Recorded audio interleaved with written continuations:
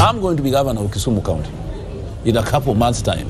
Let You're me tell running you, for governor. I am going to be. He has declared. One of the things I'm going to talk very, take very seriously, when first I get my cabinet, people must declare their assets. Put Publicly? Second, the other thing I'm going to do, I'm going to say I'm not His Excellency.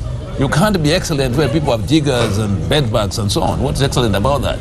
Secondly, my wife is not going to be the first lady. Why? First lady for what?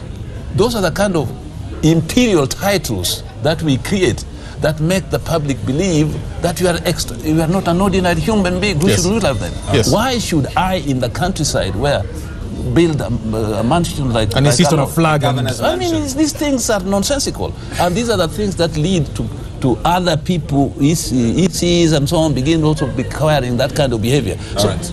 what I'm saying, and I'm making this very seriously, the president should look around him. Who is he working with, whose lifestyle has changed overnight and giving the nation a bad example, and therefore leading in corruption? Therefore, the life or style audit uh, uh, the, the deputy speaker is speaking about must begin where it matters. Okay.